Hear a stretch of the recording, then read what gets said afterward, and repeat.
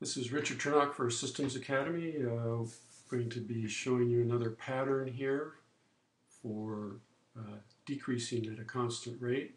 So we're going to use Vensim PLE. I'm going to select the icon for the level.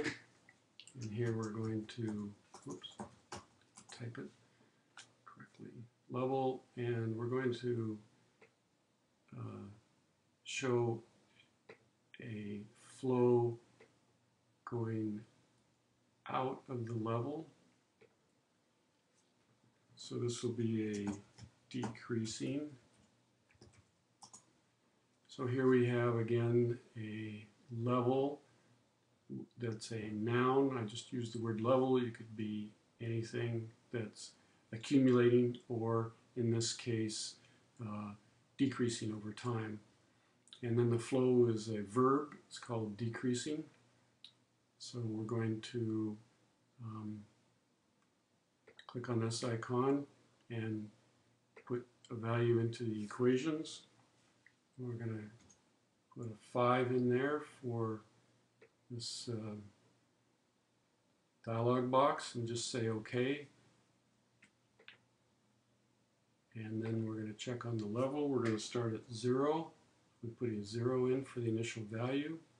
Click OK.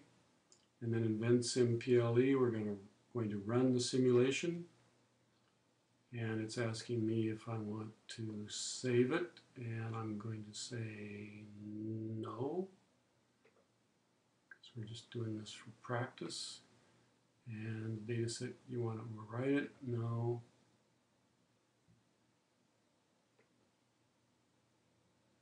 Data set.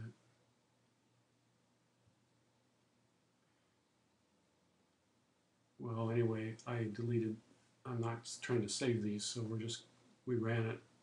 Not going to name the data set. And then here we can click on the graph.